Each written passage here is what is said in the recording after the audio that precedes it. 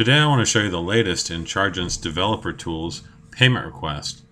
Now if I go to a standard opportunity that I've already set up with the Chargent fields uh, part of the page layout, you can see here there's an amount, balance due, uh, and the most important field that we send to the payment gateway is uh, the charge amount.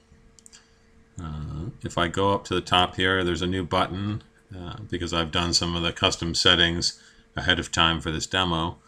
Uh, click Send Pay Request, and I get a pop-up. Now with this pop-up, I can either select a billing contact, or I can simply enter an email address that I want to send the payment request to. I can also add some notes here to go in the payment request. And I click Send Request, and I get a confirmation. If I scroll down in this opportunity, I can see the payment request related list, which shows me information about what payment requests have been sent and the status of them. And then if I check my email, I'll see that I've got received a payment request notification. This is a template from Salesforce, which is completely customizable. This is the default email template that's included in the Chargent package, but you can customize this. There's HTML and text versions. And if I click on this payment link, it takes me through to the hosted uh, secure credit card form.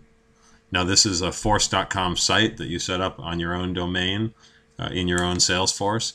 And this is a Visualforce page that's included in the Chargent package. So you can customize this with your own logo and colors, look and feel, so your customers are comfortable that they are buying from you or paying you.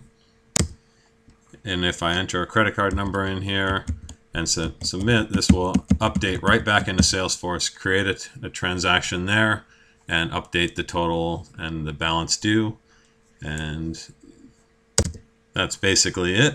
So we invite you to try this feature. It's a new developer tool. There's a developer guide. It's very customizable. Give it a try and let us know what you think.